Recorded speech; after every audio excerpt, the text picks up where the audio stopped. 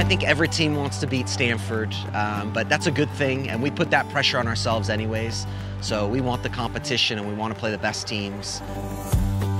I've been at Stanford for 13 years. It's an amazing university. I think it's probably the best option for both academics and athletics in the United States. I had great 13 years, um, coached a lot of fantastic players, and um, we were fortunate enough to win a national championship in 2011, so that was one of the highlights. We had three players win the Hermann Trophy as the greatest player in college soccer. That was Teresa Noyola, Kelley O'Hara, and Christen Press, and that was three years in a row, which was pretty remarkable. We're looking for the top players in the country, um, if not the world. Obviously, academically, they have to be very strong students. Um, on the field, I'm looking for players with good technique and good intelligence, uh, competitive spirit about them, and then also good athleticism. So yeah, it's the highest level possible to be able to come here and play. And if you come in as a freshman, you're ready to play and you're the best one, you play. Um, so it doesn't matter what year you are.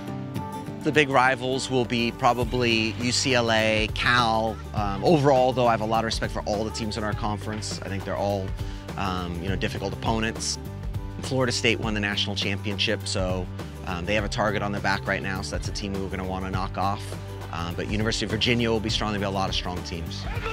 For me, I like the games we played, obviously, from the back. We want to get possession and play out of the back, and it's a numerical game. So for me, if we start, if we have four in the back and they have three, I want to work the ball four against three up the field gradually and then break the pressure and get to the next phase. But also playing to what the other team gives you. If they play high pressure and they commit forward to our back four, we got to play it forward quickly to a target, drop it, and then go with the professional side of women's soccer, my hope is the trend is similar to what is happening on the men's side with MLS. You know, David Beckham coming over, I think, was a big boost to American soccer. And my hope is on the women's side that we can grow it and get a league like the MLS and start to build because I think we're in the early stages of women's soccer growth around the world, not just in the United States, but I think globally. The future looks bright and we have a lot of talent, so it's just how we get them together and uh, how hungry they are to be successful.